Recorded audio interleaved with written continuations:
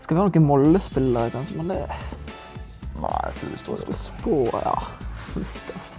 Sitter nå og håper litt da, på at de leverer. Det er uaktuelt. ja, det er uaktuelt.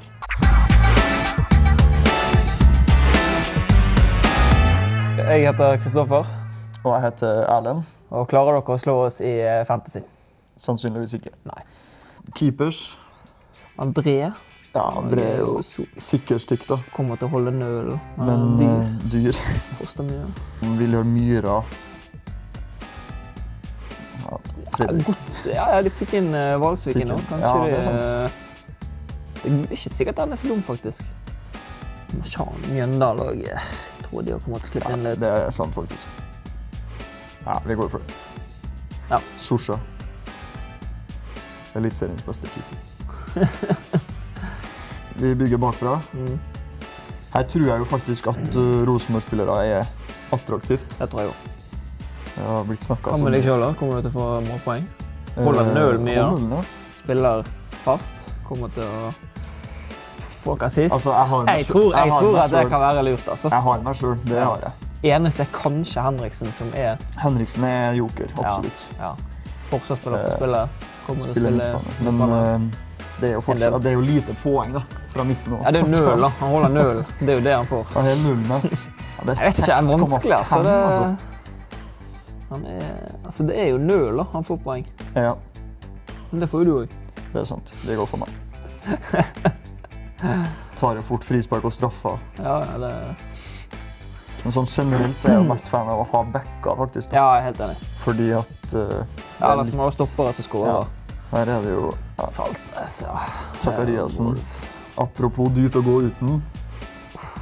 Det er jo Dyrt år, da. Det er dyrt, ja, men det er jo fort ti mål, da. Ja, det må det bli. Det må. Valgt av 18. I hvert fall. Du må med. Ja, greit. Eh, Dønnum. Nei. Nei, det Altså, det Velde. Nei. Nei. Aursnes vil du vel ha? Ursnes, ja. Det er jo den der klassiske Kanté-spilleren. God spiller, men uh, lite fantasy-spiller. Du kan være ærlig, selv om det er kamera her. Holse? Holse, ja. Nei. Det var Nei. siste han sa det før vi gikk ut hit. Kapteinsbåndet? Carlo skal med. Ja, det skal han ikke. Fra, nei, det skal han ikke, men fra kødd til alvor så er jo Carlo en uh, spiller som fort kommer til å få mye poeng. da. Jo da, Han har absolutt. eh, absolutt. Vært bra i treningskampene, og så er det jo Mm. selvfølgelig det med hvem spiller, da. Ja. Av dem vi kaller dem tre Samores. Vi går for seier, tror jeg. Ja. Eller vet Men, men hva med Dino, da? Jo, Altså, Dino blir jo toppskårer i Men vi, har, serien. vi er jo på midtbanen nå. Ja, Dino blir toppskårer. Men vi har jo bare plass til én til. Hvis meg deg Det er sant, ja. Det er sant. Altså, vi må jo ha Dino. Ja, det må vi faktisk. Dino Sorry, Emil. Ja, sånn er det. Carl ikke i nærheten.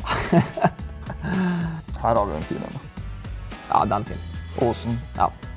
Han kommer til å levere. Ja. Eneste som er tungt, er at de ikke spiller da, innledningsvis. Det Ja, begynnelsen av sesongen, ja. Ja, det er et godt poeng. Hvis vi tenker at vi bygger et lag som kan stå her nå, Ja, jeg tror den er fin, altså. så tror jeg til må med. Ja. Altså, det, jeg har, det jeg har hørt fra Sarpsborg i år, det er at hver gang de mister ball, så skal de legge seg nedpå. De skal ikke slippe inn mål, liksom. Ja, det er jo fin info. Det er at de kommer til å ligge seg lavt og ikke bli tatt på overgang, i hvert fall. Jeg tror Sully kommer til å starte. Sully. Sulliman. Han er Det rask. Ja, jækla rask. Det kan vel Edvard Tagseth skrive noe på fra i fjor, husker jeg. Kjartansson? Nei, ikke Kjartansson, men han er i Lillest... Nei, Sigurdarsson. Botheim. Botheim. 10 millioner. Helvete. Hva har Botheim gjort for å få en så dyr pris? Nei, kjøper ikke. Enig. Den er bra. Solid. Hva med type De Laveris? I Brann? Ja, Han har jo fått litt skryt, da. har det? Ja, han har fått litt skryt, men eh, det er jo et brannlag som er, ser fryktelig dårlig ut da, Ja. i forhold til treningskampene. Ikke- ja ellers så er det Åsane som ser fryktelig bra ut, da.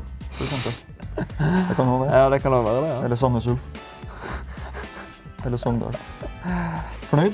Ja, faktisk. Dette... Det er et bra lag, altså. hvis du ser totalbildet, Løpet av en sesong. Vanskelig å slå det her, tror jeg. Ja, det tror jeg.